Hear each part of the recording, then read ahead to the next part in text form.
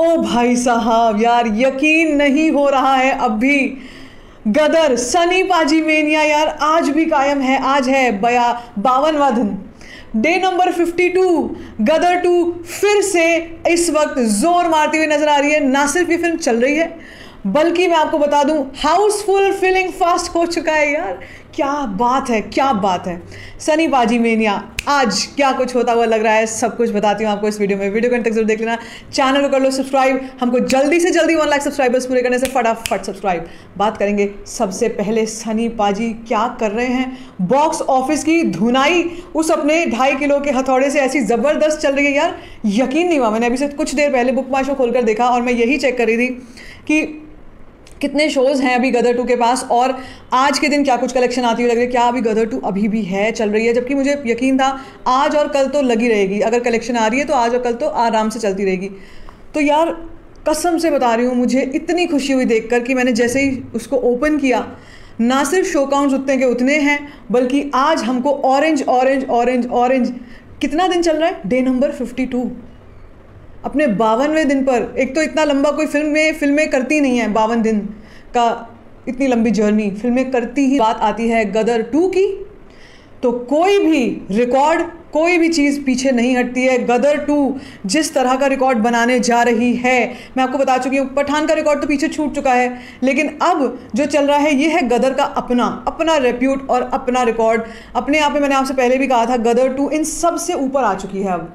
क्योंकि गदर टू का मुकाबला किसी भी और फ़िल्म से नहीं कर सकते हम। जब बाकी फ़िल्में रिलीज़ हुई सोलो रिलीजेस हुई हैं, या आसपास कंपटीशन इतना नहीं था बिग बजट मूवीज़ थी, ये बिग बजट मूवी नहीं थी, ये मिड बजट मूवी थी, और साथ साथ में क्लैश में रिलीज़ हुई थी, साथ में बहुत सारा कंपटीशन आ गया, फिर जवान आ गई, बीच में भी कई छोटी मोटी फ़िल्में और आई, अभी भी कितनी सारी और फ़िल्में रिलीज़ हुई हैं, लेकिन गदर ने अपनी ज़मीन नहीं छोड़ी है, अपनी पकड़ नहीं छोड़ी है, सनी पाजी को सल्यूट्स तहे दिल से।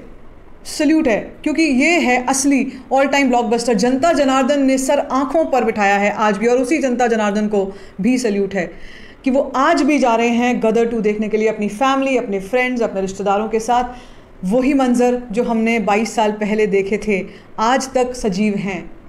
आज तक हमको देखने को मिल रहे हैं वो, कि आज भी बावनवें दिन पर यार कौन सी फ़िल्म होती है जो बावनवें दिन पर भी हाउसफुल फिलिंग फास्ट के बोर्ड्स दिखाती है? वो होती हैं जो ever green ever green blockbusters होती हैं। गदर टू का नाम उसमें शामिल हो जाएगा।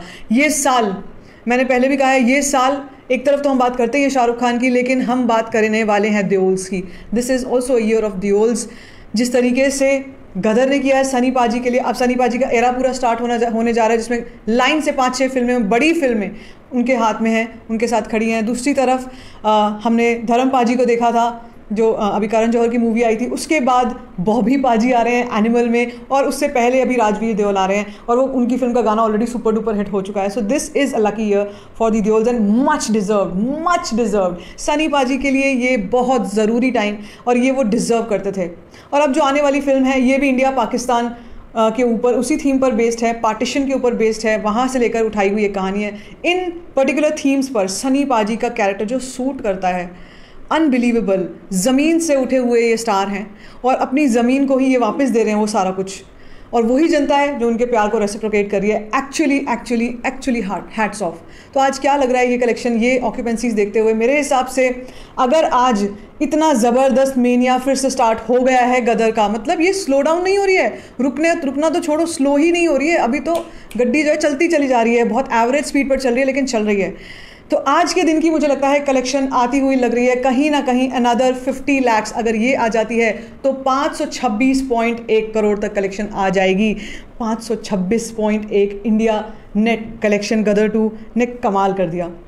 अगर ये आ जाती है तो मैं ज़रूर इसको कंफर्म आपसे करूँगी, लेकिन मेरे हिसाब से ये अनबिलीवेबल है अनबिलीवेबल है। दिल्ली एनसीआर सबसे बड़ा हब था जहाँ से सबसे ज़्यादा शो काउंट्स मिल रहे थे, सबसे ज़्यादा कलेक्शन मार रही थी। और जयपुर टू टीयर सिटीज़ आपको याद है, मैंने आपसे बात करती थी टू टीयर सिटीज़ की, कि टू टीयर सिटीज़ में सिंगल स्क्रीन में गदर टू का क्या मेनिया चलता है, वही आज भी है।